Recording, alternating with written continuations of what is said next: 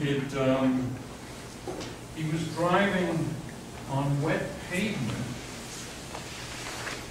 doing seventy-five on I forty, no, I twenty-five, coming back from Socorro.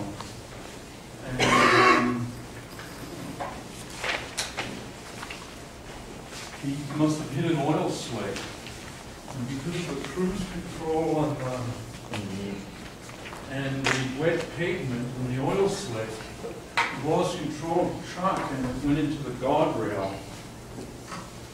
And then flipped over several times, wound up on the tires eventually.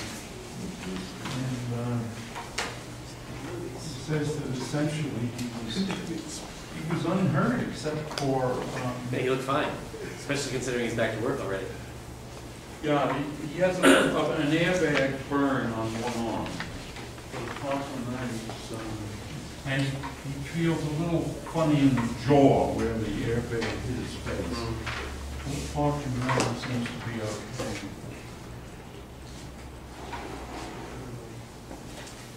Uh, back to you guys.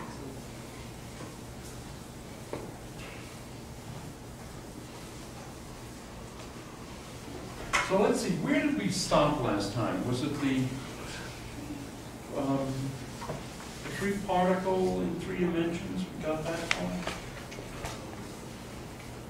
Or was, were we always just in Euclidean time? Imaginary time? No, we did the, We did the free particle in real free time, particle real time, yeah. but we didn't do the harmonic oscillator in imaginary time. I don't believe so.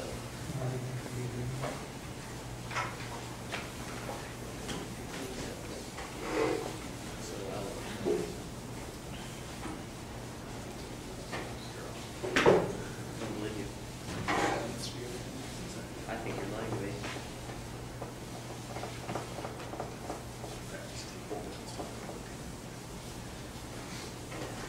So let's see, I assigned uh, another homework um, just this afternoon. It's, um, what I thought was I'd give you sort of a, an exercise involving non-abelian gauge theory. Um, It's not that big a deal on, so the, the So, Thanks for help. So uh, I consider the case SU, the the problem is consider an SU2 gauge theory. So the, instead of E psi bar down mu psi A mu, what you have is E psi bar, say, I should have written alpha probably, gamma mu, TA alpha beta, psi beta, AA mu, so that's the change. Okay. Um, There's another term involving just the A's, but it's not relevant to what I was suggest, what I'm thinking for you to do is to consider the case where, um, say fermion alpha plus fermion beta goes to fermion gamma plus fermion delta. And these T's, you can take the T's in fact to be, uh, three of them and just a half with Pauli matrices, so you're talking about the gauge group SU two for simplicity.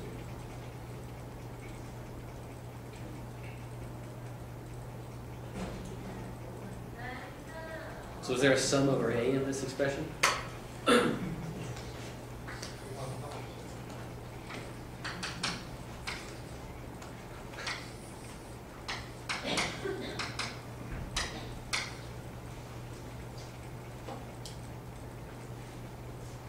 So, um, So I thought that that would be good. Now, um, let's, um, back up just a minute and uh, answer a question that someone asked in class? Someone asked, well, can you derive Schrodinger's equation from this path integral formalism, formalism? And uh, of course, the answer is yes. We'd be in deep trouble if the answer were no. Um, And uh, so let me, let me go back to one of these equations. These boards are uh, erased, so- light. Um, Anyway, what we, what we had was Q double prime e to the minus i epsilon h Prime, and I'm gonna write it as uh, one over two pi. um, e to the minus i epsilon v of uh, Q prime, and then it's an integral e to the minus i epsilon p prime squared over two m, I don't think we need to keep the prime on p, building a Louis.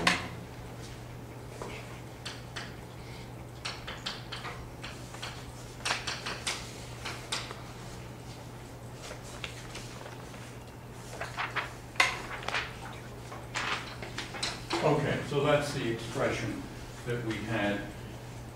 And um, what I want do is say, well, what does this tell us about um, uh, the uh, time evolution of the wave function? Well, the wave function in general,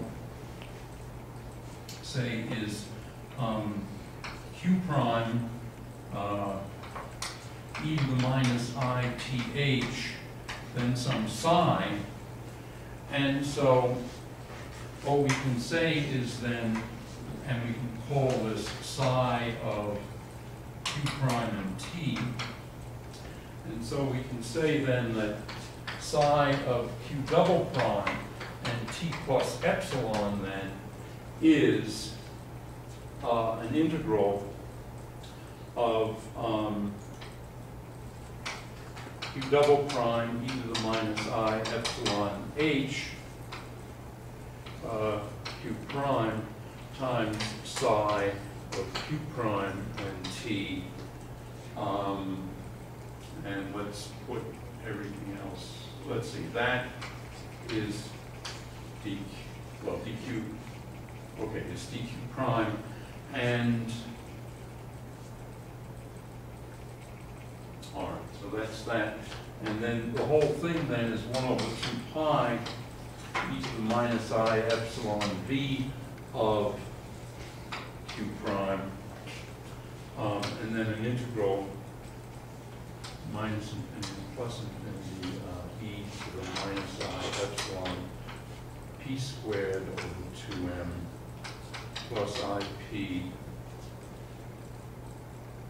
Let's see, I think I should have I think I should have gone one step further here. Yeah, let me go one step further here. This thing, in fact, is um, m over two pi i epsilon to the one, I'm, I'm looking at equation seventeen twenty-three in the latest version of the notes e to the minus i epsilon v of q prime. And then, um, what we have here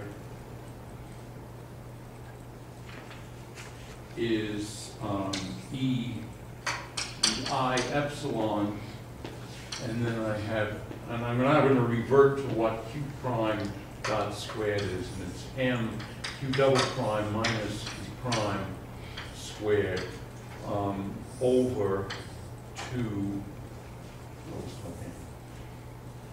my name? Uh, two m epsilon squared plus, all right, now that's, right, okay. Oh, there isn't, sorry. I.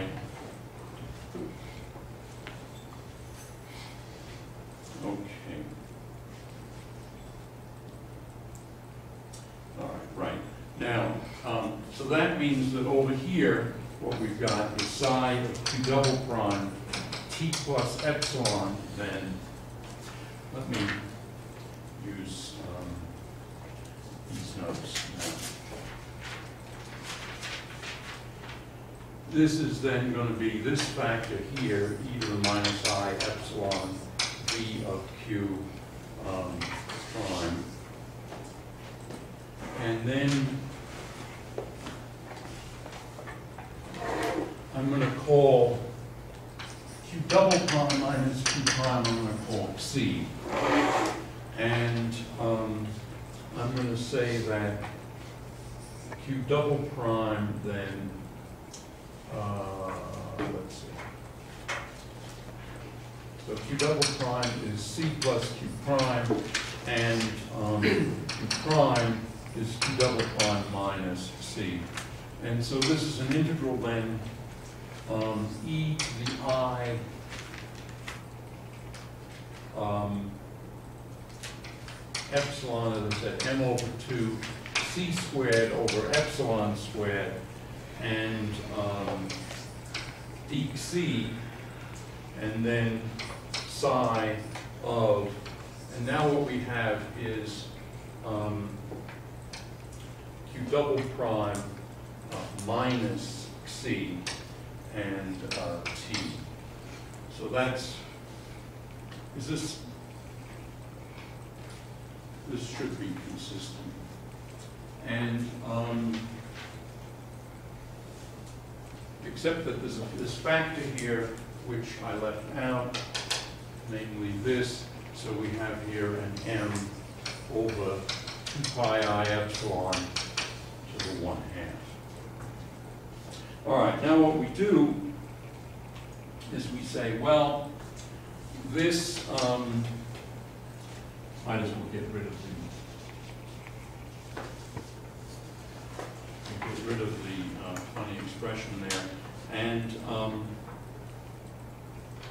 we have to do the DC integration. And what we want to do is say that on the left-hand side, this is going to be psi of q double prime and t plus um, epsilon partial psi partial t. So we're moving toward Schrodinger's equation there. And then we have uh, e to the minus i epsilon v of q prime, this m over 2 pi i epsilon to the 1 half. And now these integrate, what we're going to do is we're going to expand this thing. So we have an integral dc e to the i m over 2 c squared over epsilon. And then we're going to expand this, so this is going to be psi of um, q prime and t plus, um, or actually minus, minus c times the partial of psi with respect to x, and then plus c squared over 2 partial 2 psi, partial, well, not x, sorry, partial q prime. Minus dot dot dot dc. Okay? And now what we're using here is, uh, let's re- let me remind you of an integral that I've already quoted, but in a slightly different form. I am c squared over 2 epsilon dc. This is square root of 2 pi epsilon i over m. And the related integral, e to the i m c squared over 2 epsilon c squared dc.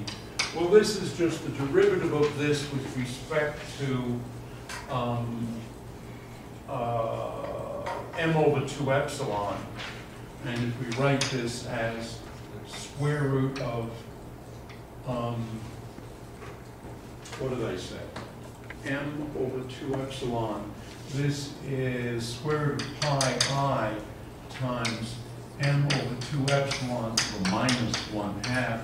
So if you differentiate that with respect to m over 2 epsilon, you bring down, well, you have to multiply by minus i, you bring down x c squared, and the result is that this is actually equal to um, epsilon i over m times the square root of two pi epsilon i over m. All of this is in natural units with h bar equal to one. Okay, so this, on the right-hand side, um, this integral, the im c squared dc, is just going to give um, the inverse of this square root. And um, so what we're going to have is psi of, actually, this is psi, all right, that's psi of q double. Psi of q double prime t plus epsilon partial psi partial t is then um, e to the minus i epsilon v of q prime. And um, we have then m over two pi i epsilon to the one half. Now, doing these integrals, this integral gives us um, the top thing, which is square root of two pi i epsilon over m psi of t prime t. So that's doing the d, well, I have two d c's, so let me get rid of one of them. That's doing this integral over c. This integral vanishes because it's odd. This integral kicks out an extra factor of, of epsilon i over m, and so we get plus um, epsilon i over m square root of two pi i epsilon over m, and then partial two psi partial prime uh. And then the other terms which are insignificant. And so now these, all these square roots cancel, and what we get is psi plus epsilon psi dt is equal to, oh, we have to expand this. So we get um, 1 minus i epsilon v times psi plus i epsilon over m uh, partial to psi partial t squared. Or, well, let's. And so now the sides cancel from one side, from both sides. And what's left is epsilon d psi dt equals, We drop the, the q double primes and the q primes, even though they're not the same on the left and the right. um, they're really the same. Uh, What, uh,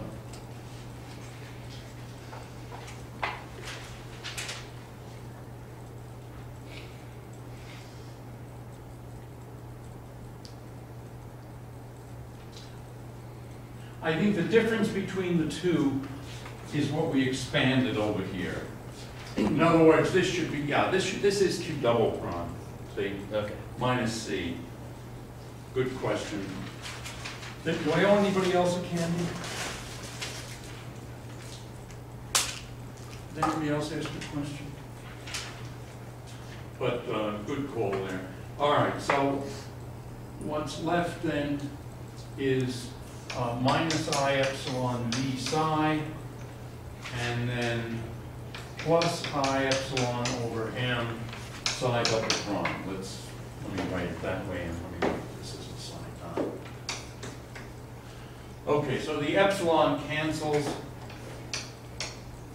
and uh, multiplying through by I, we get I psi dot equals minus one over M psi double prime plus v psi. That Schrodinger's equation, apart from a factor of two, oh, that's because there's a one half here. So this was actually two. Okay, so that's Schrodinger's equation.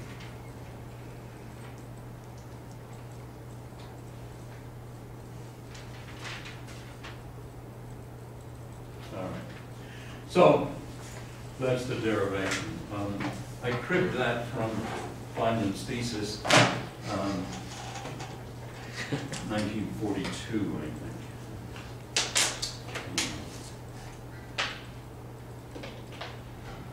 So it's interesting how the, the, the derivation comes, um, actually from the, from the very basic part of the, uh, derivation of the path integral, namely this double prime minus two prime. Okay. Any questions?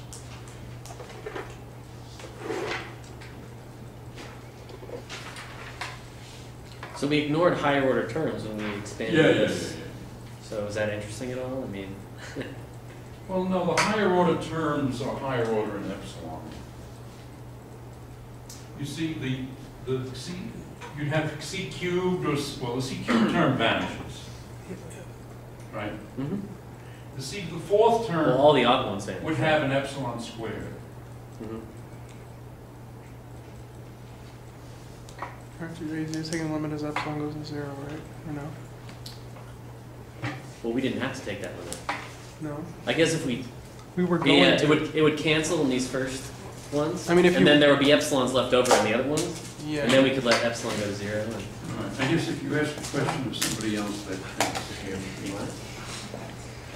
This, this whole thing's in the limit as epsilon goes to zero, right? Yeah, yeah, yeah, yeah. Alright. oh, now you. Okay, now, um, we've already done the, um, the free particle in, uh, imaginary time and, um, also in real time, right? So we've done the two, okay. Now, if we go back to the free particle in imaginary time, uh, well, actually, we did a particle in imaginary time, we didn't bother to do the free. If we do the free time particle, and in three dimensions, what we have is q of beta e to the minus beta h, q at zero. This turns out to be m over two pi beta to the one, three halves, sorry. e to the minus m over two, beta minus q zero squared over beta. If, if you have the answer in real time, is it not just a trivial substitution in between? Um, um, yeah, you can, you can if you want do that, or you can, um, think about actually doing it. I mean, the way, But there's a slight difference in that one will give you the Hamiltonian and one will give you the Lagrangian, right? Because of this Right. i squared when you complete square for the right, the Gaussian integral. yeah. So you I don't think you can just, No? I don't know. I don't know, I mean, it's, I can agree with both of you, okay? However, however much that may seem to conflict. um, After all, we had eight years of Clinton, he did pretty well. Um, If we, if we go back then to, uh, let me use the eraser. In ordinary units, this is minus h over kt. This is then uh, mkt over 2 pi h bar squared to the 3 halves. We then have an h bar squared here. And um, kt up there. Okay. And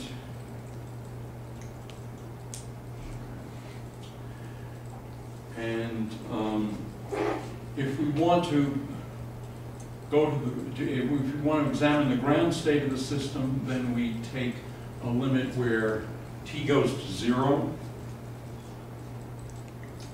Um, and in fact, what we can do is we can compare this with uh, a solution of the diffusion equation. And in fact, it, um, it, it is the solution of the diffusion equation with a diffusion constant given by h bar over two n. Um, So, um, I'll just leave that there. Um, Now, uh, I want to apply the trick that I mentioned before. Remember, if the Hamiltonian, of the action, I should say, is quadratic in the variables, um, then what you can do is you can find a process that's stationary, there's, say, the classical process, and you expand about the classical process, and then what you find is that the first order term is zero, first order correction to the action is zero, that is to say, the action of Q classical plus delta Q is the action of Q classical uh, plus uh, the action of um, delta Q, it turns out. Um, And then plus higher order terms if the action is more than quadratic. If the action is quadratic, the thing just stops like that. And this is also true in imaginary time. And so, um, as I say in the notes, biologists have mice and rats. Um, physicists have the harmonic oscillator. And so, I'm going to write down the harmonic oscillator, p squared over 2m plus uh, m omega squared, q squared over 2. And um, so I'm going to look at, we're in one dimension again, e to the minus th to 0. And so this is some normalization factor. By the way, you notice in this derivation of uh, Schrodinger's equation, it was important to keep straight what this normalization, what this integration factor was. When, when, when we went to the full-blown path integral, we had n over two of these, where n went to infinity, and I just called that some mysterious factor n. But um, it's, and as I, and I mentioned and stress now that it cancels in ratios path. Um, But notice that in this derivation, the exact value of that was uh, relevant. Okay, so, Okay, so this is e to the minus integral zero to t, one half m dot squared of t prime, say, plus a half m omega squared q squared of t prime, uh, dt prime, and then all that dq. So this is what e to the minus th between two uh, q eigenstates is. And um,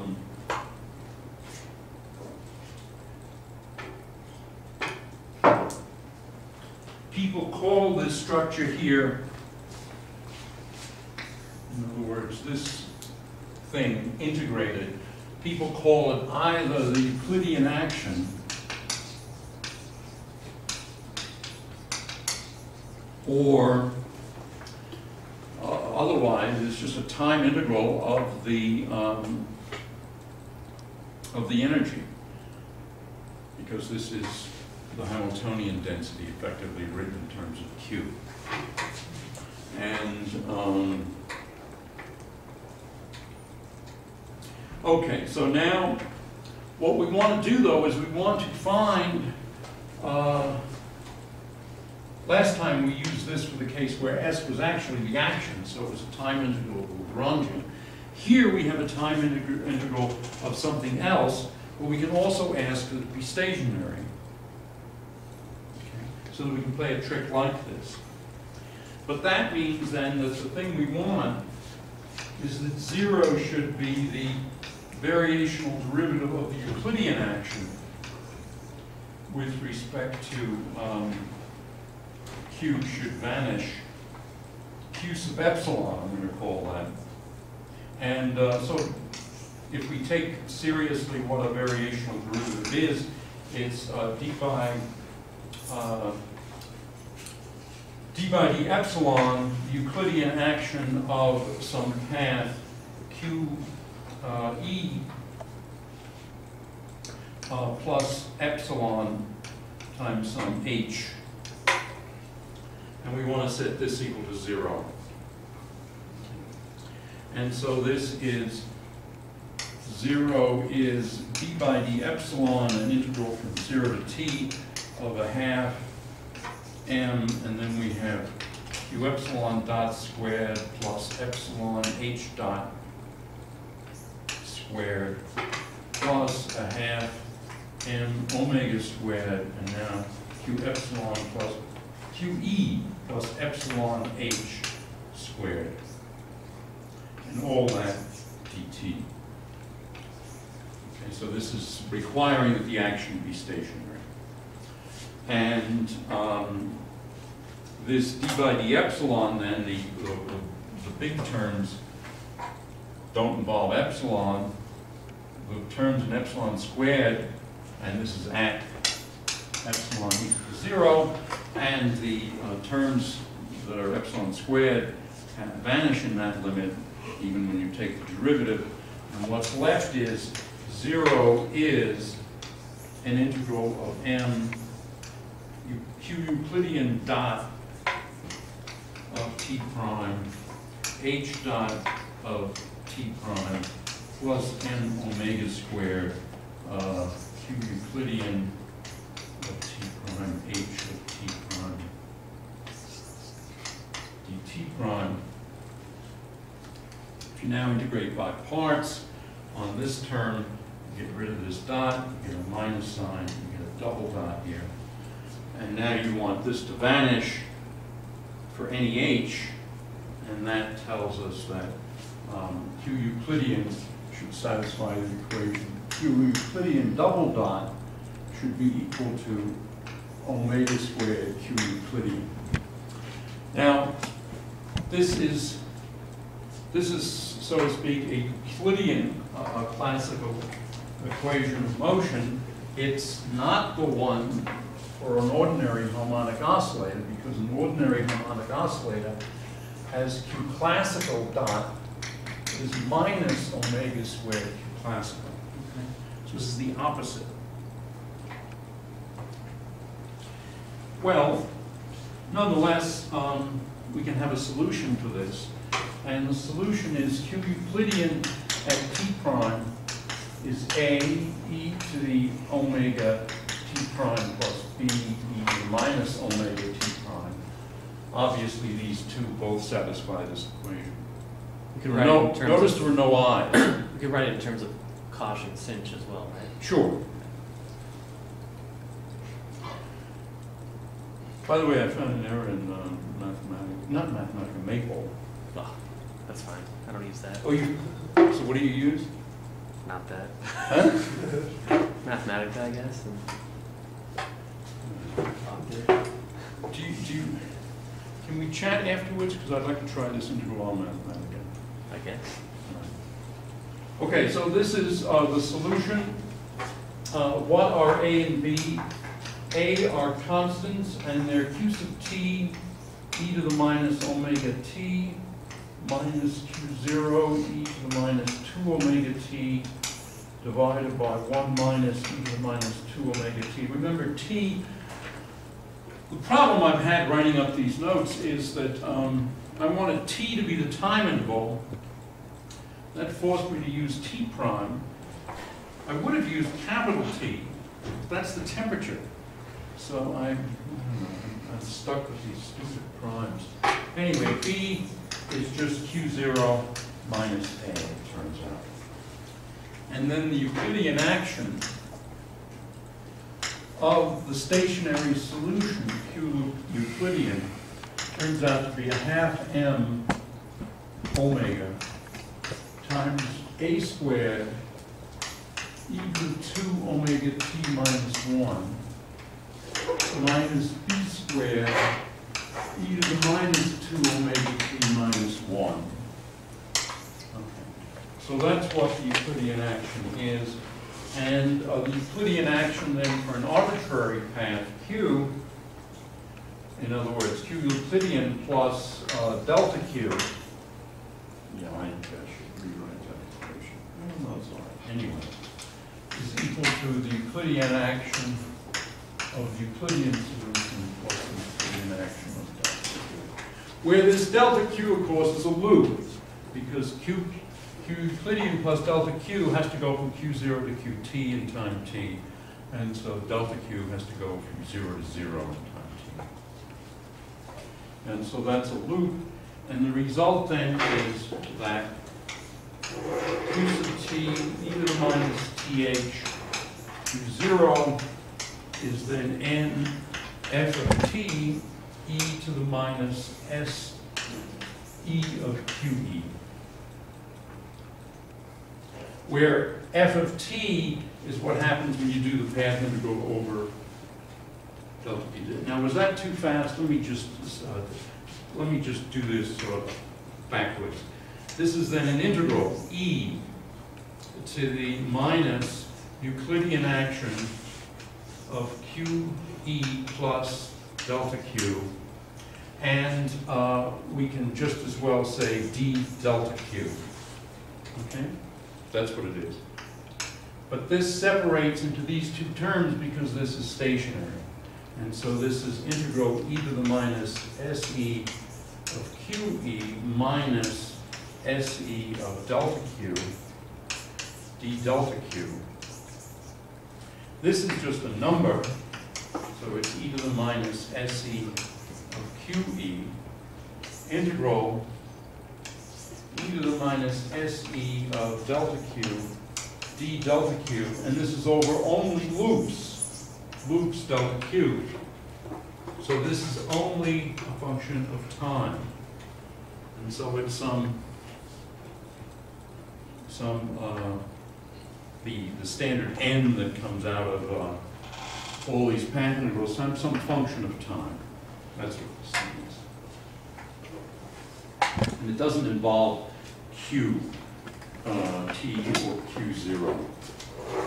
And, uh, moreover, this thing is then n f of t, and we know what SE of QE is, it's this, so this is E to the one half.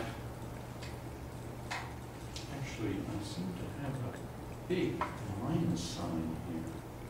There should be a minus here.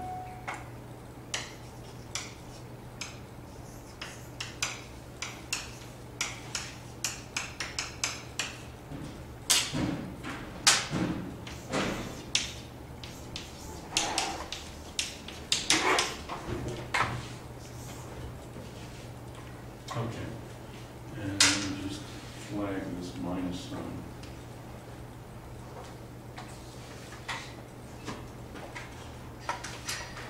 We all happy with it? Nobody has a question or, or pain? All right. So now what we're gonna do is we're gonna take the limit, t goes to infinity, to project out the ground state to get something useful out of this. If I were Schwinger, I'd be able to get out all the eigenstates and their eigenvalues and everything, but I'm just gonna do the simple thing of take the limit t goes to infinity. So in the limit, uh, t goes to infinity, what happens is A goes to q sub t e to the minus omega t. B goes to q zero, since this is going to zero. Um, and the limit t to infinity of um, qt e to the minus th q zero is e to the minus t e zero. And of course, this is the thing that I've said many times, where this is the ground state of the theory. In other words, H uh, zero is E zero, zero. So this is the lowest energy state. In other words, this thing becomes a projection operator on the ground state of the theory, and um, so in other words, you insert a complete set of state, in other words, if I want to actually do this in detail, it's this, it's sum e to the minus t e n, the state in n q zero, that's what this is. Now, the limit t goes to infinity, the only one left is e zero. And so what do we have? What we have then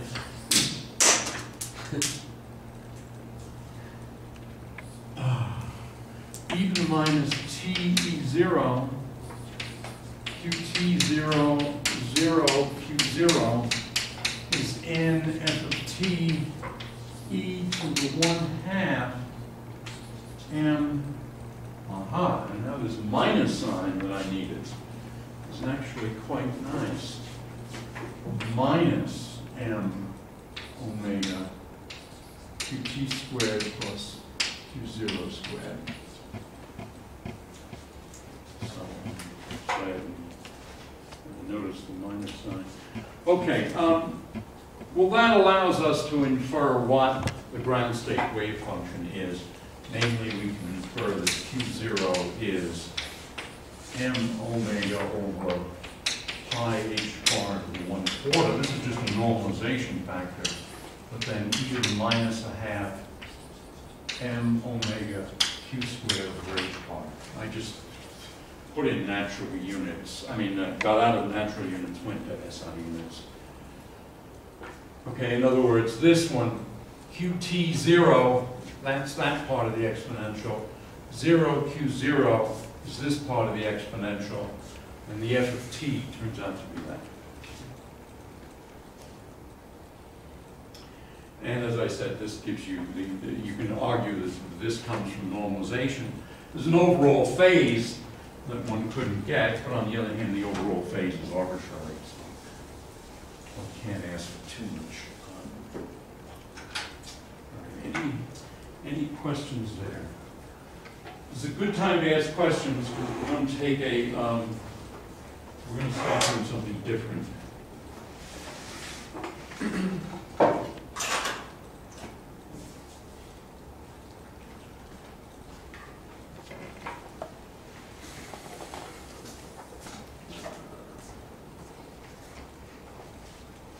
So the reason you knew that, um, where all those terms come, came from is basically because f of t isn't a function of q zero or qt. Right, well, that's t, of course, it's just a function of t, but, um, yeah, it- it- it's good you asked that, because, um, this is, um, this is actually one of Feynman's many tricks. There's this whole sequence of things. Dirac had his insights, Feynman had his tricks? And one of the Feynman tricks is this thing that I've just been exploiting here.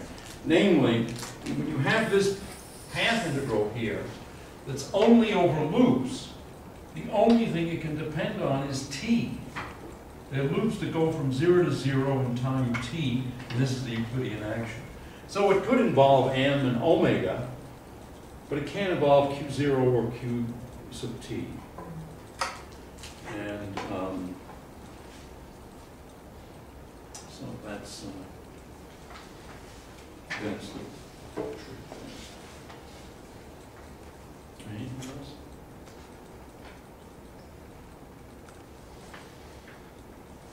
All right. Now, the Heisenberg uh, position operator is e to the i t h q e to the minus i t h. So q is q times zero, or it's q independent of time, or it's the Schrodinger position operator. And uh, the Heisenberg one is this, this is the time dependent, so When you it could be- could be any operator. Huh? Flip the, the minus sign, because you can, you can go from, because This better be the right order. uh. That's the right order. It is, Pretty sure that's right. because typical Schrodinger evolution is a, is a minus, right? Evolution on a state, minus Yeah, i. but that's the operator, man. Yeah, yeah, but you can, you can put that out in front and then insert the identity, This is at least worth the Reese's Buttercup. right? And you, Um, all right, let's, let's, let's, let's, let me show why this is the case, and it's great that you asked the question. So in the, in the Heisenberg picture, the states don't change in time. So psi q of t, psi, okay, or for that matter, phi. So the matrix element of q of t at time, uh, I'm sorry, the matrix element of q at time t in the Heisenberg picture is phi of zero, psi of zero, q of t, okay? But now we see, what is this? This is q, this is e to the minus i t h sine, and then this is phi e to the i t h. Okay? So now you see this is phi t q sine t. Right, so it is, it is right. There's all my minus sign here, but this one I got.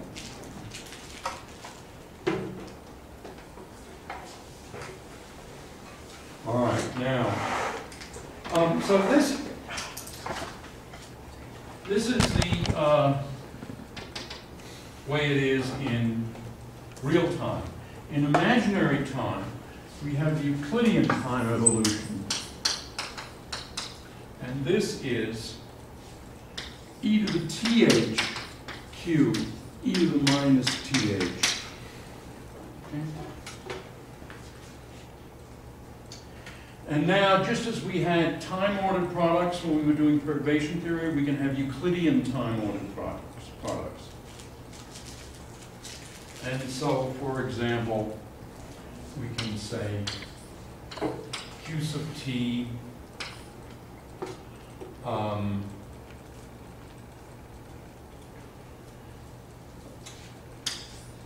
the e to the minus th is gratuitous there. What we have here is qe t1, qe t2, e to the minus th, q minus t. So this is um, what I'm writing, and this is, in fact, uh, q sub t e to the minus th, and this is a Euclidean time ordered product of qe of t1, qe of t2.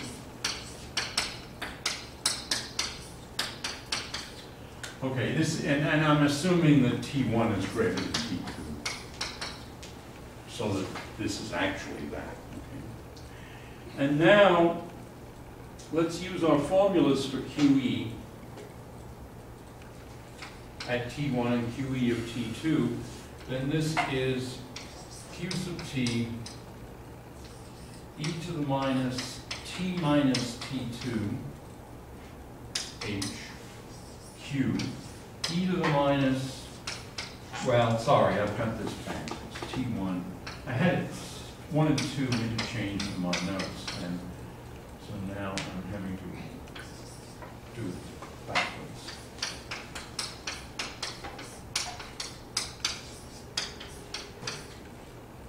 All right, so. So we can think of this, this is some state which I'm calling q sub minus t. Then we, the, we Euclidean time evolved this up a distance t um, plus t2, then we hit q, then we go from t2 to t1, hit q again, then we go from uh, t1 to, to t this way and forward. All right. Now what we're going to do is write this as a path integral. And of course, what, what we know how to do with path integrals, we know how to write e to the minus th as a path integral. It's a path integral of the energy density. Then we have a q, another e to the minus th, another path integral of the energy density, and then another path integral of the energy density. The result is that q sub t, this is just a state, e to the minus th, Euclidean time ordered product of qe of t1, to e of t two. All right. Fix that.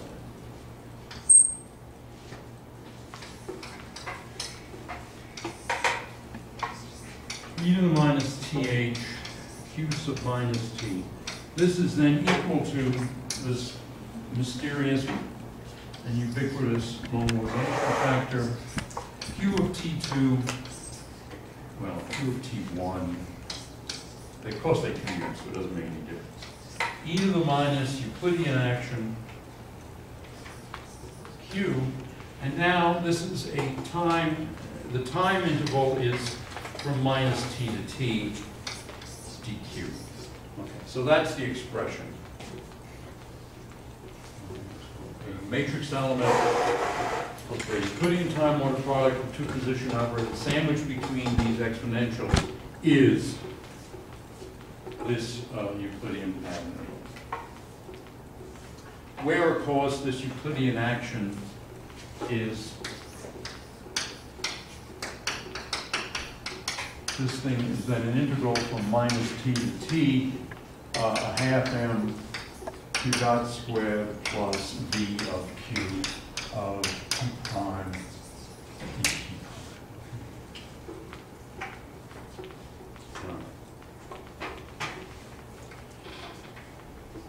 And now, of course, our old result would say q sub t e to the minus two th q's, uh, q minus t is some n, same n it turns out, because it's the same number of um, dyadics that we have to insert. e to the minus s Euclidean q t minus t dq. And so we can, if we take the ratio of these two, the n's cancel. And so what we can say is the q of t Euclidean time order prop, well, sorry, an exponential left out.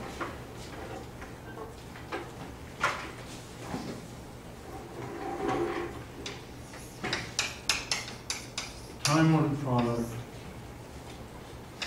to E of T two, well, T one, I keep re. I had them in backwards order for some masochistic reason. No. Okay, so that divided by qt e to the minus two th to minus t is then a ratio of path integrals. q of t1, q of t2, e to the minus se dq over integral e to the minus se dq. All right, so I'm worn out from erasing and writing. Okay, so that's, that's the expression. Is that clear to everybody? Does does anybody have a question? Notice that this thing on the right-hand side doesn't have any of these crazy ends in it. And you can actually, on a computer, well, if you have a quadratic action, you can do this thing. If you somehow know how to do path integrals analytically, you can do this thing. Um, otherwise, you can somehow, um, if you, since you only have one, if you're doing physics only in one dimension, you can break up this q of t uh, into, you know, n steps. n can be a hundred, a thousand, let it be a parameter in a program. And um, you can just uh, compute this ratio of integrals. And in fact, this ratio of integrals is, is, is um, can be conveniently and efficiently done with a Monte Carlo routine. And uh, so what you, and, and when you, just let me say what that would be. It would be a sum, one over n, and it would be just q, uh, q sub i of t1, q sub i of t2. That would be all it would be.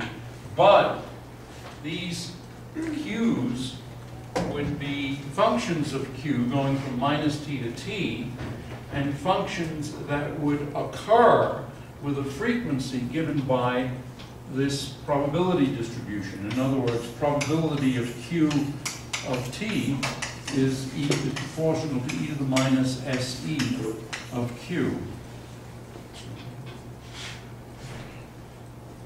that probability distribution, you then generate a sequence of n functions q of t, and then you compute this sum.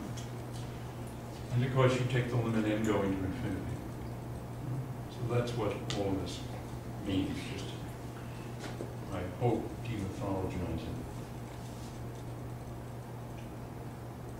All right, now, uh, this was ordinary t, but if we're now gonna let, if we let t go to infinity, then what do we have? We have e to the minus th on q sub minus t is then e to the minus t ground state energy, ground state dyadic, q sub minus t. And so we have that occurring. We have two factors of e to the minus t e zero occur, one here and one there, one here and one there, so they cancel. We'd have this matrix element occur here and there, they cancel. Here and there, they cancel. And the result is that we'd be left with the following formula.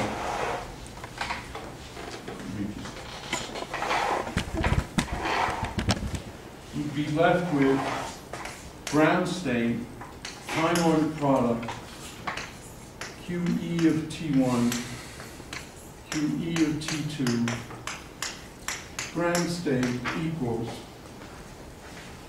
ratio of these two path integrals, QE of T1, QE of T2, e to the minus SE of Q, dQ, divided by integral e to the minus SE of Q, dQ. And when I'm writing SE here, what I meant was SE of Q infinity minus infinity. In other words, you integrate over all time. Well, this is an important result. I did it for the case of two Qs so that I wouldn't wear myself out and so that um, it would be reasonably clear. But it's clear that you can put in three, four, or n, and the resulting formula is ground state, time ordered product, q of t1, dot, dot, dot, q of tn. Actually, there's still only two q's. Integral q of t1, q of tn, e to the minus se q infinity minus infinity dq divided by integral e to the minus se q infinity. So that's why I wrote right parenthesis. That's the ratio, and that's an important equation. And it's important because you see, this whole business of path integrals works not simply for a quantum system of one variable q, but n q's, or as you make the transition to field theory from quantum mechanics, these q's can be fields. And uh, what one winds up with then is an expression for mean value in the vacuum, the time order product of n fields, Euclidean time order, is this type of an integral. And I did this in Euclidean space, but we could have done it in Minkowski space. In that case, it would be the mean value, well, the tricky part for, for, you see, the Euclidean space got us automatically, in the limit t goes to infinity, it projected out the vacuum. So one needs another argument in Minkowski space to get us to the vacuum. So let's leave that aside. Um, Let's uh, look at this expression here though one more time. This thing is time ordered. And why is it time ordered? Well, it was time ordered because you see, it was this time ordering that brought us these successive factors of um, precisely these factors, t minus, t plus t2, t1 minus t2, t minus t1. These factors came from the Euclidean time ordering and the definition of the Euclidean, uh, an operator in Euclidean time. That's why the left-hand side is time ordered. The right-hand side doesn't have time ordering because, of course, these q's of t1 through tn, these are just numbers. These are just values of the function, the, we're integrating over all functions q, and uh, that function then we evaluate at t1 through tn, multiply all the numbers together. Um, What, it's really a shame that that we haven't gotten very far doing path integrals analytically. I mean, we can do the Gaussian path integrals. We can't do much beyond that. And um, that's a pity. Um, I don't know, the, uh, I, I really think that the future of uh, science is in India and China, just because of the numbers. And um, so, there are a billion Indians and a billion Chinese, um, maybe one of them will figure out how to do these things analytically, and we'll be way ahead of the game. Um, Of course, you know, an American could do it too. I wish you all, I wish us all luck. All right, are there any questions before I go on to say the next topic?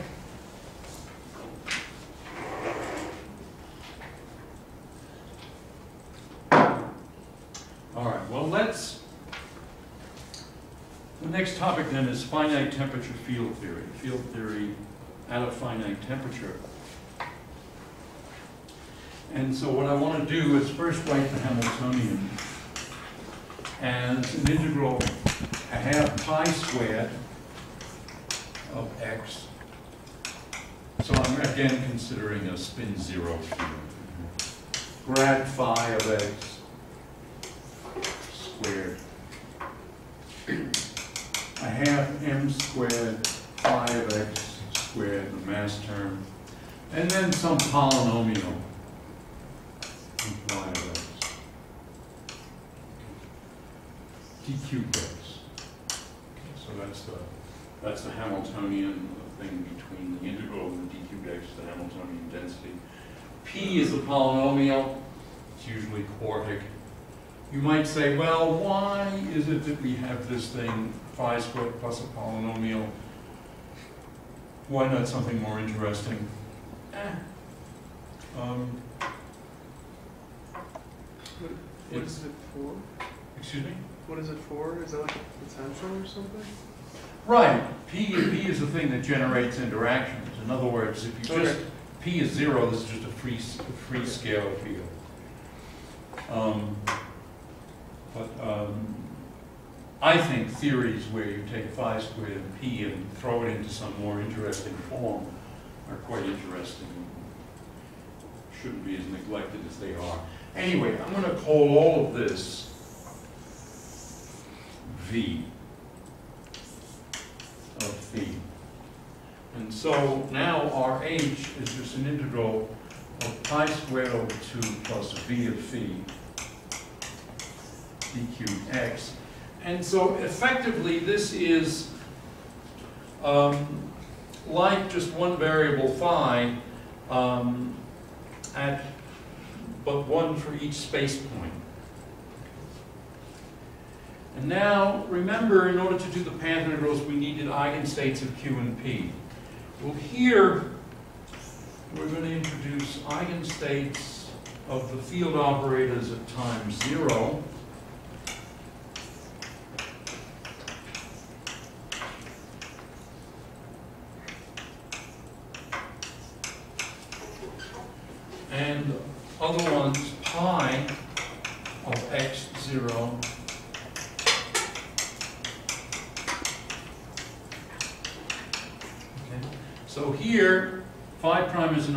eigenvalue, but it's a function.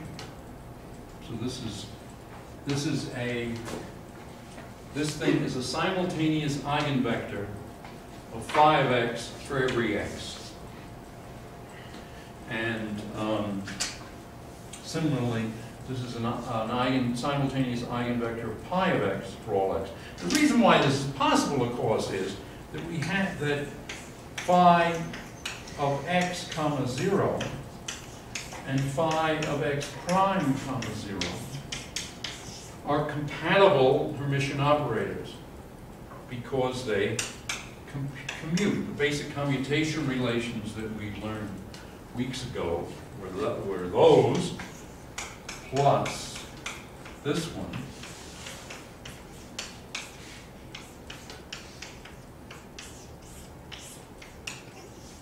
So we can have simultaneous eigenvectors of pi at all x and phi at all x, because these two things are two radically different vectors. And remember the normalization of the, in other words, just in one, this is, well, again, I don't remember what the Peskin-Schroeder factor is, it's probably high. If, you- if you're in one dimension, it's two so, forget the two pi, there's a delta function here. So they're orthogonal when the eigenvalues are different, and the eigenvalues are the same, they're not normalized. So these are unnormalized, un- unnormalizable states. Moreover, they're also states of infinite energy, uh, just as these are. In other words, the Q states they're, are infinitely sharp in position, therefore in momentum, they're infinitely vague and uncertain. That means that the, their momentum values go way out to infinity, so the, the the kinetic energy in that state is infinite. Is this why we prefer to look at the fields and their decomposition in terms of momentum creation and annihilation operators? Uh, how shall I say? That, that, what, what I mean is these states, Q and Q prime are convenient in quantum mechanics, but we don't think of them as physical, particularly physical because they're infinite energy states. And the same thing with the pi's are infinite energy states. And this is something that I think some people lost sight of. Uh, I, I, I hope that they now have regained sight, appreciation of the fact that these are not finite energy states. But they're very convenient states for manipulation, we're gonna use them. Um, But uh, to have states that are, that have some of the properties of these eigenstates, but are of finite energy, can use coherent states. States that Glauber introduced one mechanics, although Schwinger had them before. Schwinger probably got them from Wigman. I where they started. Okay, um, what's the inner product of these states? So let me use a little bit of blackboard that we have left. You remember that uh, Q prime, P prime is um, e to the i, Q prime, P prime divided by square root of two pi. Well, similarly, what we can say is that phi prime, phi prime is some factor that for some reason I called S, and then it's e to the i integral phi prime of x, phi prime of x, d cubed x, period. Right, So that's what it is. So this is just the analog of this, but whereas here you only have one, here you have infinitely many and you have to integrate over them. And there's a bugger factor here, it's one over two pi here. I'm not even gonna think about what it is there. All right, and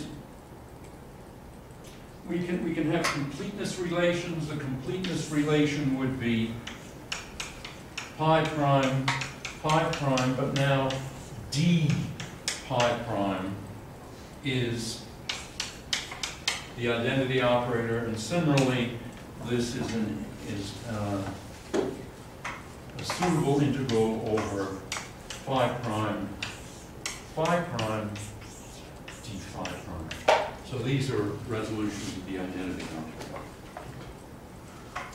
But once you have this, everything goes through just as we did it for the case of um, a single physical variable.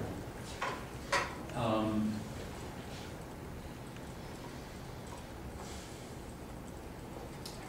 uh, So I suppose the place to go is over here, because this is the darkest blackboard. Are there any questions though, because, You might be getting to this, but why, why did we call this finite temperature? Excuse me? Why did you call this finite temperature? Oh, because um, I'm gonna compute matrix elements of e to the minus beta h. Okay. So,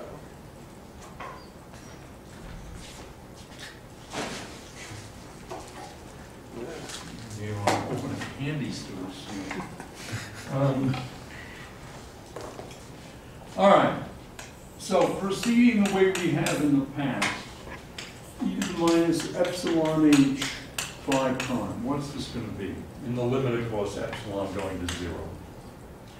Well, it's gonna be an integral phi double prime, e to the minus epsilon over two integral pi squared d cubed x pi prime, and then here pi prime e to the minus epsilon integral v phi d cubed x phi prime d pi prime. So I just, I've just done the usual thing where we, h is, is a half pi squared plus v integrated. Uh, the limit of epsilon going to zero, we can separate them. We insert an identity operator. And now what that gives us is some sort of an s e to the minus epsilon integral v d cubed x times an integral e to the, e to the, let me just say, integral minus pi epsilon pi squared over two plus i pi prime pi double prime minus phi prime x d pi prime. Once again, we're gonna say that phi prime dot is uh, phi double prime minus phi prime over epsilon. And lo and behold, what we get at this point then is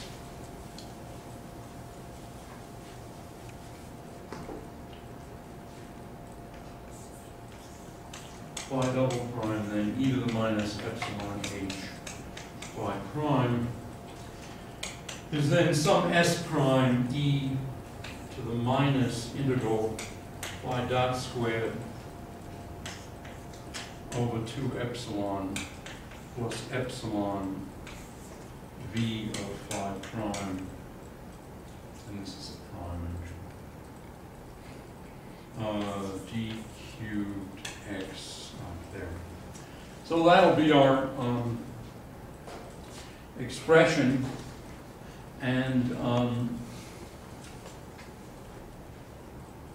actually, I'm a little puzzled, Uh, do I really mean that there's a one over epsilon there? I think this might be wrong. I think we want this epsilon to be up here.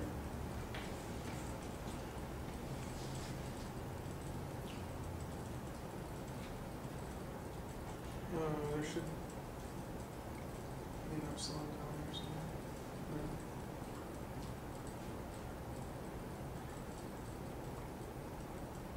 I don't know what I'd do with it if I left